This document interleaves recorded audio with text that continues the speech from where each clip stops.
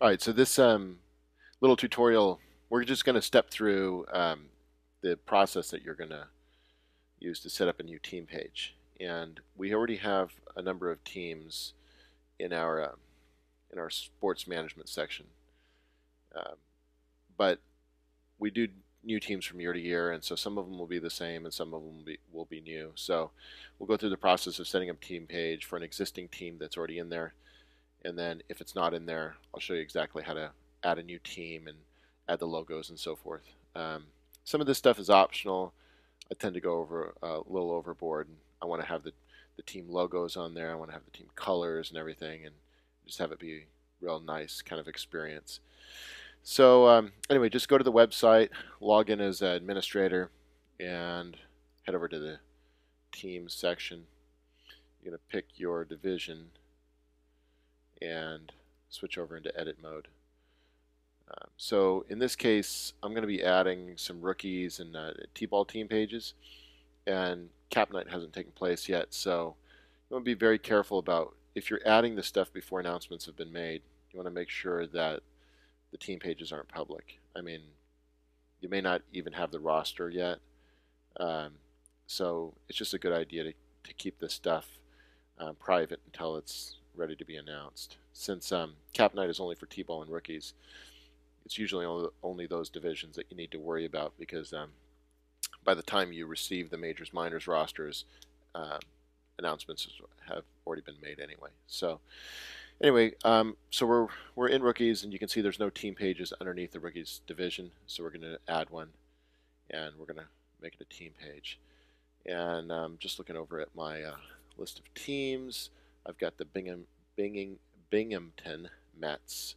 So I'm just going to take a look in here, and sure enough, I've already got that available. And uh, as I said, I'm just going to leave the page status to disabled for right now. All right, so you can see that it added it. It's gray because it's disabled. And it didn't take us to the page so that we can go through and add in all of the team pages at once. Okay, so we're going to add a new team page. The next one I know I don't have is the Carolina Mudcats. So you can see in here, here's all the ones I've got. It's not in there. Yes, we can create a new team. And Carolina Mudcats. I always put the city in the full team name. I think it's just kind of more authentic. Um, the other thing that I do is I actually look for abbreviations. Now I've got a I've got a link to this MLB uh, timeline and abbreviations page. Um, the problem is I don't think that any of the minor league teams are listed in here. So it doesn't really matter that much, but I, I, um, I like the team abbreviations, at least for the major league um, teams, to be the same as what you would go, you know, if you were at a game um, looking up at the scoreboard, you'd see the same abbreviation. So uh, we can just um, we can just fudge this right now. So I'm just going to do CAR.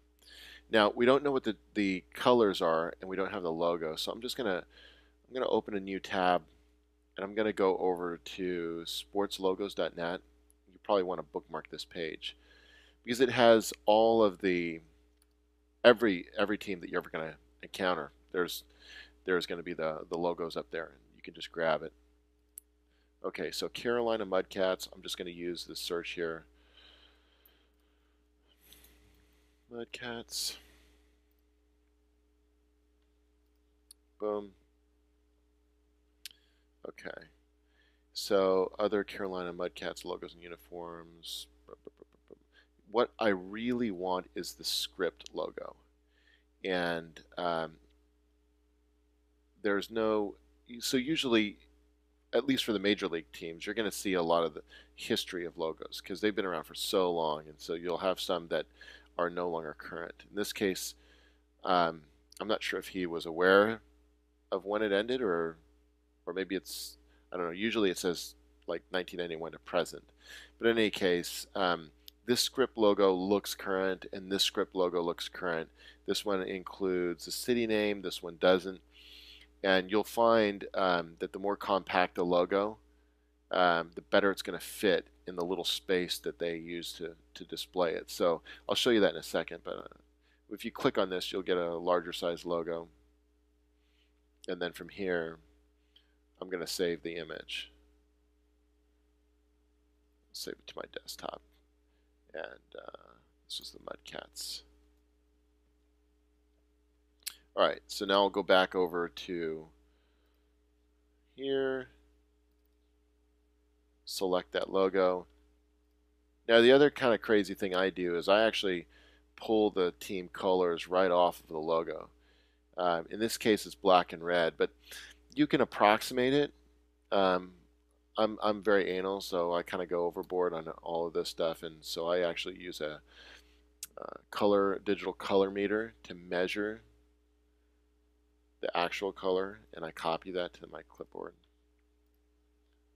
So when I set my primary color, and the primary color on this one I'm, I'm going to just set to black. Secondary color I'm going to set to the red. Now it matches precisely the logo that I'm uploading. Alright, so this is a uh, rookies team, so we want to make sure that we um, don't include the uh, team in standings because it's not scored, and we'll create the team page. Alright, so now you can see the uh, team page and you can see that my colors right here the black and the the reddish color matches the logo uh, perfectly. And if we're looking at the page elements the colors of the page elements also inherit those primary and secondary colors too. So it's just kind of a nice look. Um, now what I do from here is I add the management team um, to each of the team pages so that's the team manager two of the coaches and the team mom and um, you can add them in whatever way you want, but I, I think that the most efficient way to do this is simply to edit the layout container here and make it a two column with the larger content area first and then a smaller area to the right. And I'll save those changes here. Now over here we can add in a contact page element and this will be well I don't have any info right now so I'm just going to put team manager manager you can fill this in after the fact and then an email address. And the, the nice thing about this contact page element is that the email address is not listed on the website.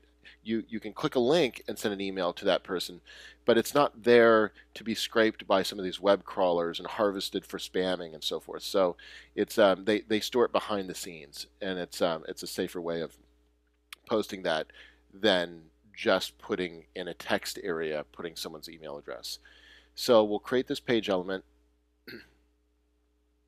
And then what I usually do is I'll copy that and I'll edit this and this will be this will be the coach or at least one of the coaches and you'll save that change copy that again. This will be the secondary coach and then copy it again and then this will be the uh, team mom. Whoops team mom. And then of course put in the actual contact information for all these people, and you're good to go. Now, if you want to see how this looks in user mode, just flip the toggle switch, you're back to user mode, and this is how it will appear to everyone else. Um, all right, so once you've got these T pages set up, and you can see that I've got, um, I've already set up a couple of them. I'm going to go through and probably do the rest here. Um, we also need to add the rosters if you have them at the, at the time that you're setting up the team page. So you can set up the team pages first, come back and do the rosters later if you don't have the info.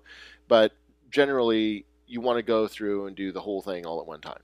So we'll, we'll go in here and um, you want to be in edit mode when you add a roster. So we'll flip the switch back over and then you'll see some additional buttons show up here.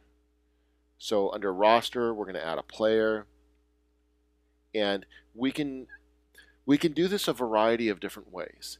Um, what we prefer to do is link the players um, from their registration to their teams.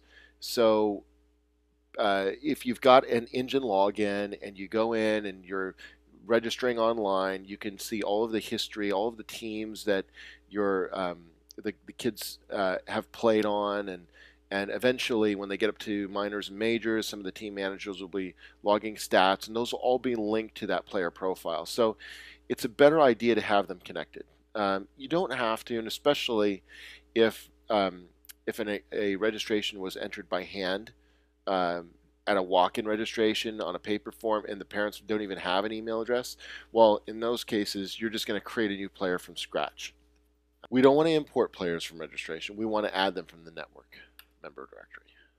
Okay. Um, so here's where you can actually do a search here. So I'm gonna I'm gonna add my own kid, and so if I start typing his name, I'll get uh, a bunch of matching names. Now, if there's a common name, you're going to have a very long list. If you can't fish it out, you might want to start with a last name instead because this search will search any part of a name, right?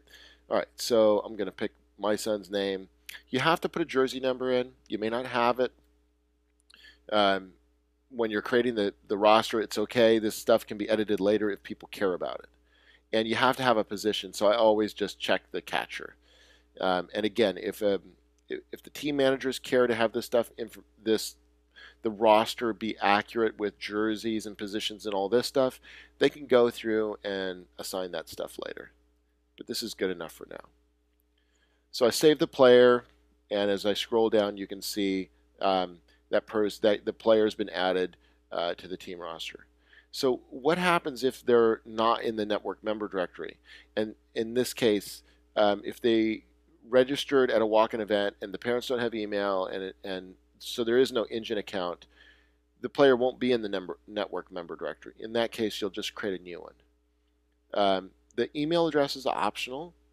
Um, if you enter an email address here, it's going to send an email invitation to um, that email address asking to claim this what they call an orphan registration, and um, and then they can manage and, and see the the player history as they uh, as they continue on throughout their uh, little league career here with Allied Gardens. So in this case, I'm just going to do John Doe. I'm going to again the same thing: jersey number, catcher. I just do it quickly to get the the roster filled in. Down the road, people can add a, a, player photo and do all kinds of things um, to uh, to fill out that roster a little bit more. But uh, all we're concerned with is is the names. So that's it really. Um, so you're going to go down the line here and, and add the teams in, fill out the rosters. We'll worry about game schedules later. Um, we'll do an import from the scheduling software that, excuse me, will hopefully take care of all that stuff for us. So um, if you have any questions, uh, please contact your information officer, info at aglittleleague.org. Thank you.